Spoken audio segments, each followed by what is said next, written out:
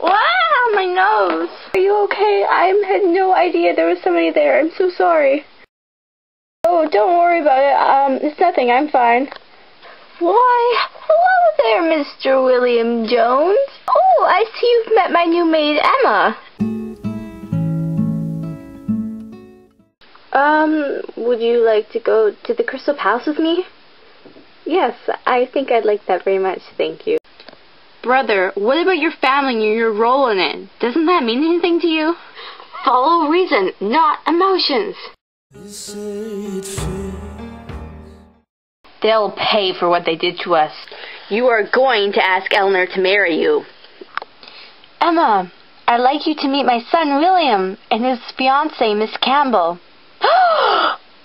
I'm leaving London. Emma's left. What?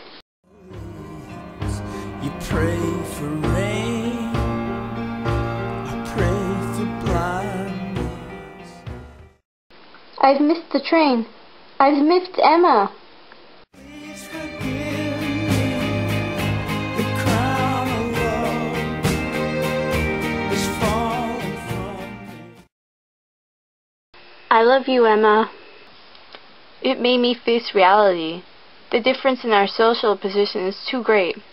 I'm aware of that. It'll work out, though, since it's you, Emma. snuffed it out before my mom walked in my bedroom. The only thing that you keep changing